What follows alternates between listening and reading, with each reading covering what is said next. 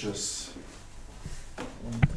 Nalepke, nalepke sem pa danes zgeneriral. Ja, ja mislim, da trebamo mi v Etiopiji otvoriti, tamo gdje je sjedište. Uh, Bi mogli još setup shot iza stola ili nešto raditi preko. Ja. Ona mi je ovdje zlato. je tako. Starvanskih poslova. I zna kako je to kad te prate na... Not a single day in my life.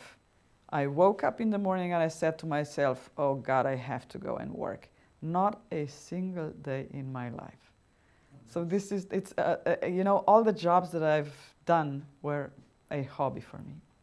I was her attorney at law at the times when, you know, there were some uh, nasty rumors appearing in Slovenian media. And after that, it was distributed basically all around the globe through UK to United States.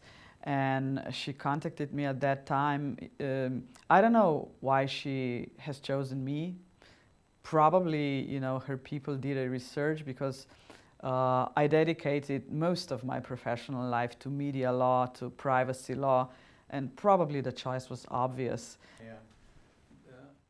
I was not involved into a daily foreign politics of Slovenia, but I was the information commissioner for 10 years and you know uh, uh, also the president of the joint supervisory body of Europol. Um, definitely, I am a strong believer of European Union. Um, I, I, do believe that the rule of law and human rights are something that uh, most of Europeans uh, still believe in.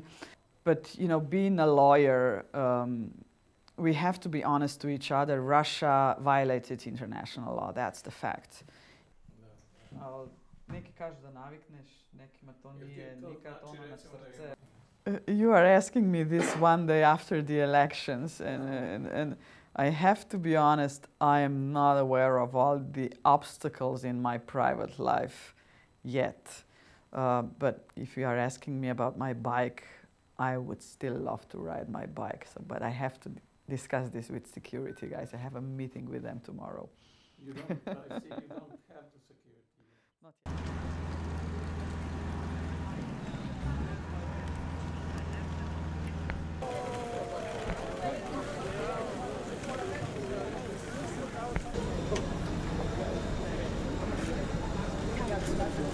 Ja, jaz sem tega zelo vesel. Prvič zato, ker je ženska, drugič pa zato, ker nekako podobno razmišlja kot jaz in mislim, da bo to dobro za Slovenijo.